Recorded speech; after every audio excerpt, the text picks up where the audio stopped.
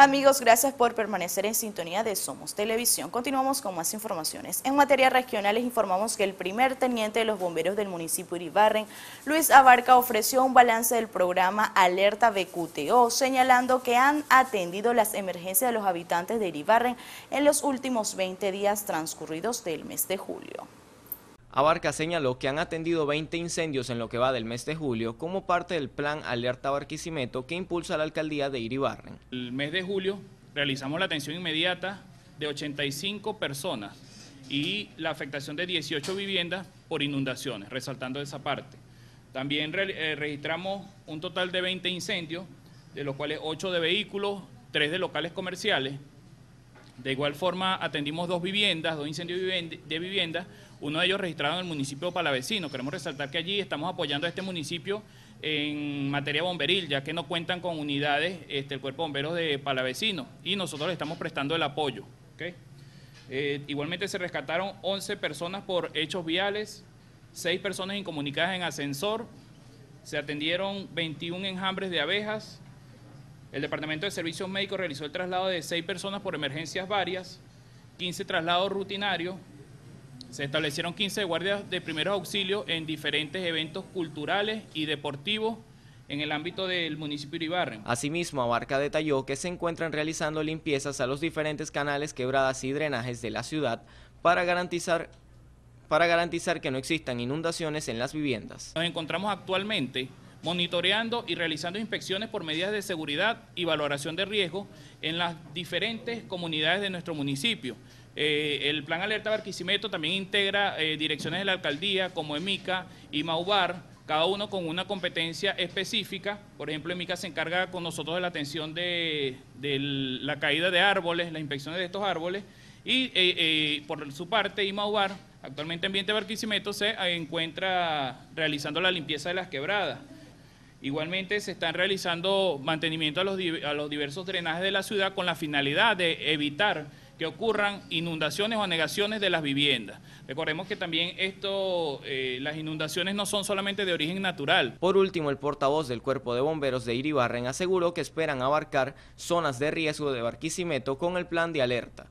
Dios Alfred Serrano, Somos Noticia son invisibles a nuestros ojos, pero cientos de bacterias, virus y otros microorganismos, además de residuos tóxicos y ciertos procesos químicos, están en los alimentos que comemos a diario.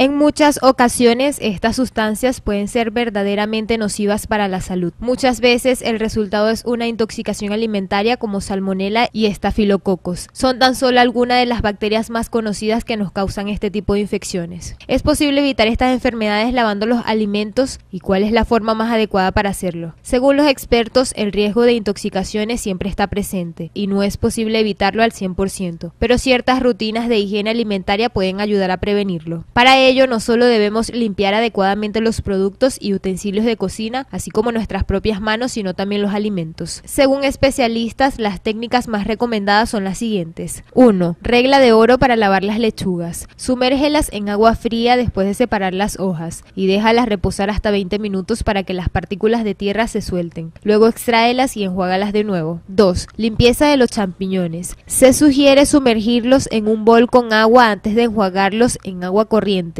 y secarlos después con papel de cocina. Si están un poco mojados, ponlos a fuego alto y el agua se evaporará. Número 3. Cómo evitar que el perejil quede empapado. No es muy agradable comer lechuga empapada, así que agítala bien y deja que se seque en un trozo de papel de cocina para obtener mejores resultados. Número 4. ¿Qué debemos hacer con las bolsas de ensaladas? Las ensaladas preenvasadas suelen venir ya lavadas en una solución baja en cloro para matar todos los insectos. Sin embargo, los especialistas recomiendan lavarlas antes de usarlas. Yolimar León, Somos Noticias.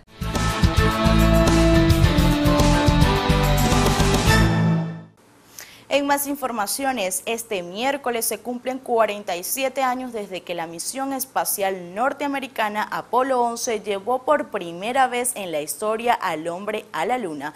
Veamos el siguiente video. One, zero, all engine running. Liftoff. We have a liftoff. 32 minutes past the hour. Liftoff on.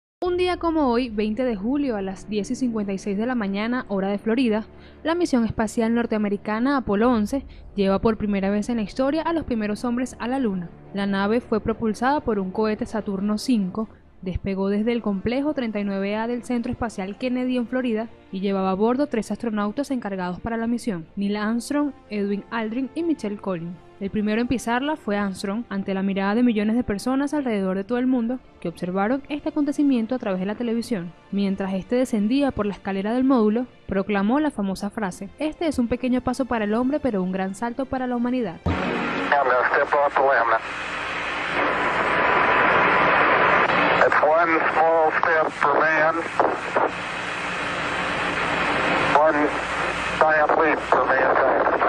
Posteriormente, Aldrin ofreció una descripción de la superficie lunar calificando el lugar como una magnífica desolación. La misión, la cuarta de la serie de los vuelos tripulados Apolo, inicia la exploración humana de la Luna, los astronautas recorren el terreno por más de dos horas recogiendo 22 kilogramos de muestras de suelo y rocas lunares e instalando instrumentos científicos para la detección de sismos, partículas solares y un reflector láser. La misión de ocho días de duración concluye con el regreso de los astronautas a la Tierra quienes tuvieron que someterse a una cuarentena ya que podía darse la posibilidad de que hubieran traído algún germen desconocido de la Luna. Bien amigos y de esta manera hemos llegado al final de la presente emisión estelar de Somos Noticias. No sin antes recordarles que nos pueden seguir a través de nuestra cuenta en Twitter arroba Somos los Medios.